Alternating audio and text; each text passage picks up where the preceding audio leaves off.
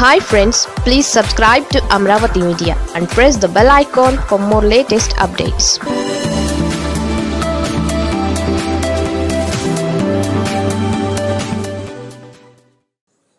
చంద్రబాబుది వృధా ప్రయాసే. ఆ డిమాండ్లు నెరవేరడం కష్టమే.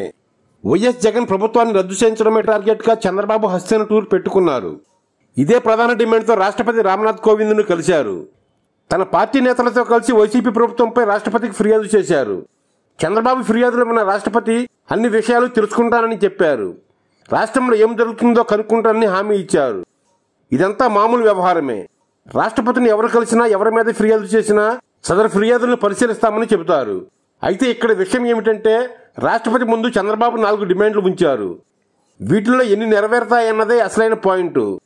ఇంతకీ ఆ డిమాండ్లు ఏమిటంటే మొదటిది ఏపీలో ఆర్టికల్ త్రీ ఫిఫ్టీ సిక్స్ అమలు చేయాలని అంటే జగన్ ప్రభుత్వాన్ని రద్దు చేసి రాష్ట్రపతి పాలన పెట్టాలని.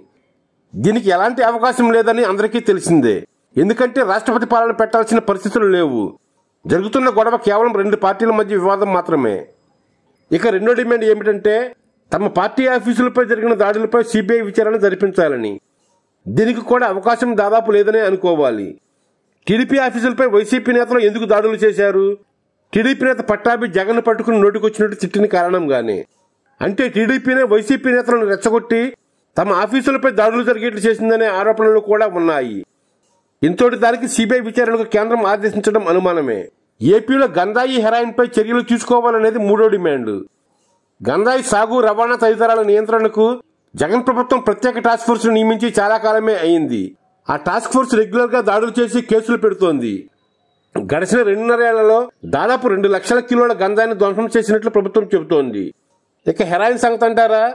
ముందు దేశంలోకి రాకుండా చర్యలు తీసుకోవాల్సింది కేంద్ర ప్రభుత్వమే. అసలు గుజరాత్లోని ముంద్రా ఎయిర్పోర్ట్లోకి మూడు వేల కిలోల హెరాయిన్ ఎలా వచ్చిందో ముందు కేంద్రమే సమాధానం చెప్పాలి.